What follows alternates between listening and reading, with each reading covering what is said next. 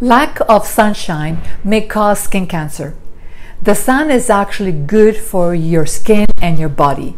Find out why your sunscreen may do more harm than good.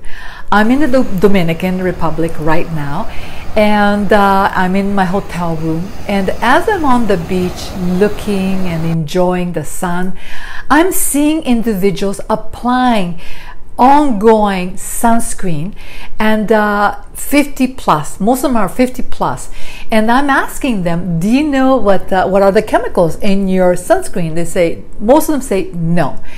So i've decided to do this tutorial for educational purposes because we need to realize what we're putting onto our skin.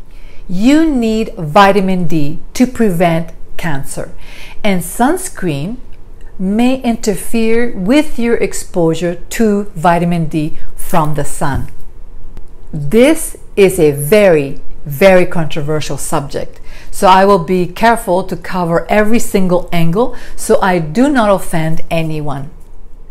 Very quickly, if this is your first time on my channel, my name is uh, Maria and welcome to Aglaia Esthetics Online, where I share, teach, everything to do with health, wellness, skincare, beauty care, uh, some traveling in a balanced way.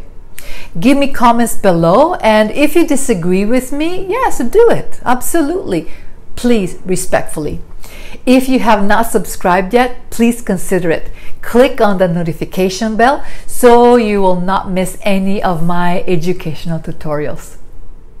While sunscreen is an important part of our beauty skincare regime, we now know it's not as easy or simple just just to grab something from your the store off the shelf. There are many factors to consider when purchasing the safest and the most effective sunscreen. If you have read anything on sunscreen in the past few years, you know that mineral sunscreen are the safest. They often uh, they often or offer optimal protection from both the UVA and the UVB rays and are safer than the chemical sunscreen ingredients, in my opinion, after reading all this information. But you say, exactly, is it so bad about chemical sunscreen? We've been using it for years, right? Yes, we have. But farmers, for example, working in the sun most of the time, you seldom hear that they have skin cancer. Uh, individuals using lotions every day, year round, now have shown in their blood test vitamin D deficiency. Hmm, that's not good. Most sunscreens are full of toxic chemicals and yes, poor liver. The liver will need to deal with all these toxins, which I'm going to talk about in a second. Get plenty of sun, but get out of the sun when you notice irritation on your skin. Also, after you come out of the sun, treat your skin with uh, ointments or uh, coconut oil is as a an after sun treatment is fantastic. So let's start with a little explanation about the sun. The UV rays potentially damage your skin, yes, and your health. The UV uh, radiation carry ionizing radiation, uh, which causes a chemical reaction in your body. There are three types of UV rays the UVA, UVB, and the UVC. The UVA rays penetrates in, from the top of the skin and it reaches deep into the dermis layer, causing lots of damage, uh, actually long term damage, premature aging, and skin cancer. The UVB rays uh, uh, goes penetrates the skin but stays more on the surface and causes uh, is responsible for sunburns. The UVC rays are absorbed by the ozone layer uh, before reaching the earth so we don't have to worry about that. Which is better spf 15 15 or spf 50 spf stands for sunburn protection factor most individuals they reach for the SPF 30. Uh, if you have very light skin, SPF 50. No sunscreen can block all the UV rays, but What we know is that the SPF 15 blocks 93% of the UVB. The SPF 30 blocks the 97% of the UVB. And the 50 plus blocks 98% of the UVB rays. However, give the user a false sense of security. High SPF sunscreen not only overpromise protection, but according to the FDA, overexpose consumer to UVA rays and uh, raise the risk of cancer. In theory, sunscreen with super high SPF should give you the best protection, right? Against uh, the damaging UV radiation. But in practice, it may not work that way. In fact, some experts say using super high SPF sunscreen could lead to more UV exposure, upping your risk for both burns and skin cancer. There are two types of sunscreen, as I already kind of dabbled a little bit chemical and the physical. The chemical sunscreen use up to a dozen ingredients, chemicals, that when applied are absorbed into the top layer of the skin, the epidermis. They react with the, with the skin to absorb the UV rays and convert them into energy. However, the sunblock, on the other hand, reflects the sun rays from the skin, blocking the rays from penetrating the skin. That said, not all sunscreens are created equally, and there are some pretty, pretty scary ingredients lurking in your tube of SPF. I did some digging to find out the ingredients you should kind of watch out. Chemical sunscreens work like a sponge absorbing the sun rays. They contain uh, usually one or more of the following active ingredients, and I will go try to kind of pronounce them, but I will write them for you. And what they found is that these chemicals are affecting our endocrine system, dis- disrupting, causing havoc in our body. This constant exposure to sunscreen chemicals raise concerns, especially because there is not enough safety data for most ingredients. So I'm going to go and explain some of them, okay? I'm not going to go to all of them, but the ones that I became aware. So the first one is the oxybenzone. This ingredient was banned in Hawaii because it has been shown to cause harm to the coral reefs. Not exactly a ringing endorsement for something to be smeared all over your body.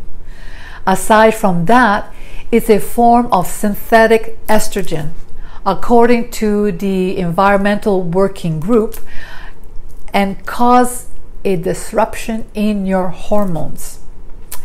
Uh, this group actually considers oxybenzone to be the most troubling sunscreen ingredient and is potentially a of greater harm to children. So please, please look at that that ingredient is not in your sunscreen. The next one is called the octinoxate. it's an organic UV filter. It is readily absorbed into the skin and continues to be absorbed after the sunscreen has been applied. It has been found in blood 16 times above the proposed FDA safety threshold. The uh, octinoxate can also cause allergic, allergic reaction after exposure to UV light. Several countries banned the sale of the sunscreen because they may be harmful to the aquatic life. The next one that I am aware of is the homosalate. Again, it's an organic UV filter widely used in US sunscreens. The FDA has proposed that there is insufficient data to evaluate whether this is safe and effective use in sunscreen. So, would I want to use it? Uh, homosalate has been found to penetrate the skin, disrupt hormones, and produce toxic breakdown, toxic breakdown byproducts over time. I, I'm not going to use that. okay, the next one uh, that I am uh, thinking is the octisalate. Again, an organic UV filter readily absorbs through the skin at levels 10 times more than the 0.5 nanograms per millimeter, the FDA cutoff um, for system, systemic uh, exposure. The FDA has requested additional safety testing. Environmental Protection Agency suggests octisalate may have endocrine effects weakening binding to the estrogen receptor. Huh. Um, the next one is that the oct- oct- octinoxate is also banned in Hawaii for coral reef reasoning. It's been shown to cause skin allergies and in animal studies it has effect on the reproductive system and problems with a thyroid and I've noticed a lot of women have thyroid problem. Octocrylene studies have shown that this ingredient causes high rates of skin allergies. It has been linked to aquatic toxicity with the potential to uh, harm the coral health. So I am not going to put these ingredients onto my skin. Cancel. Avobenzone is a widely used organic filter that provides protection from UVA rays and is often used with other organic active ingredients in products offering broad spectrum protection. Because avobenzone is not stable as an ingredient, it must be paired with other ingredients that acts as a stabilizer or stabilizer to prevent it from breaking down in the sun. Breakdown products of avobenzone can cause allergy reaction, can disrupt the endocrine system, and has been shown to block the effects of testosterone in cellular studies, causing hormonal dis- disturbances, altering sperm, and may play a role of endometriosis. I am concerned so the next one is the retinol palmitate. This is a form of vitamin A, which is a powerful antioxidant. I am normally a fan of antioxidants, at the NRF2, uh, both internally and externally, and I have links below. Eating vitamin A rich foods have shown to be beneficial to your skin. But when retinol palmitate meets your skin, and the sun, that's when the problem begins. Animal studies have shown that when exposed to the sun, it is potentially cancerous and forms free radicals, which that's not good, uh, which is quite literally the opposite reason you want antioxidants. Now, mineral and chemical sunscreens work differently in protecting us from UV exposure. Chemical sunscreens soak into the skin and absorbs the UV rays, preventing the UVB rays from causing sunburns while still allowing the UVA, the longer rays, reaching into the deeper layer of your skin, causing damage. Mineral sunscreen ingredients like the zinc oxide and titanium oxide form a barrier on the top of the skin and reflects the UV rays, preventing the UVA, okay, the UVA rays from finding their way deeper into the skin. So, what should you use? Chemical or physical? That is a decision that you have to make. But if I know that all these contraindications of these chemicals causing these problems to my skin and to my system, to my liver, to my endocrine glands, I want to kind of step back and uh, do my research. Now, I want to talk a little about the, the uh, titanium and the zinc oxide. Mineral sunscreens are made with titanium, dioxide and zinc oxide. Usually is a form of nanoparticles, like small particles. The FDA proposed that both these uh, ingredients are classified as safe and effective. Evidence suggests that the few, if any, zinc or titanium particles penetrates inside the skin or the living tissues. Titanium dioxide is classified as possible human carcinogen by the International Agency for Research of Cancer because of the potential of the exposure through inhalation. Oh. For this reason, powdered or spray formulation containing titanium dioxide are a concern. Zinc oxide also carry inhalation concerns when used in a spray or in powder products. So you will need to use it in a cream format. Yet, even with existing concerns and uncertainties, I believe zinc oxide and titanium lotions are among the best sunscreen choices on the American and Canadian market.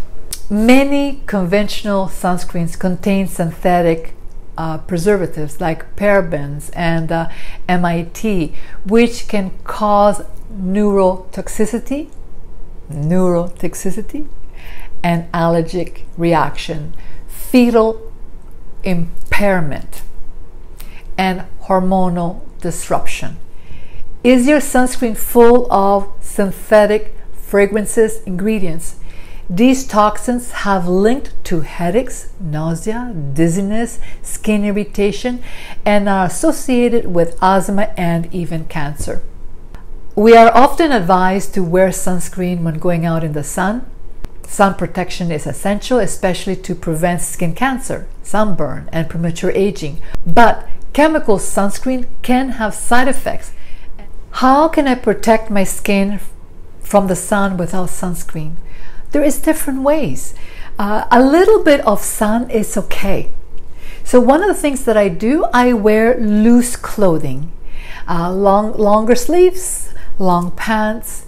And uh, yes, I do go in the sun, but as soon as I feel my skin is reacting, I get out of the sun. I wear nice, beautiful hats. I wear sunglasses. I stay underneath a beautiful umbrella.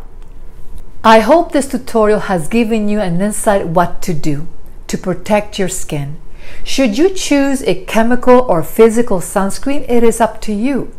But take the bottle, look the back of the ingredients, and do your research before you're applying onto your skin. A good site is pubmed.gov that you can put in that ingredient and then it will tell you exactly if that ingredient should be on your skin or on your children's skin. You need to be proactive. Until the next time. Take care.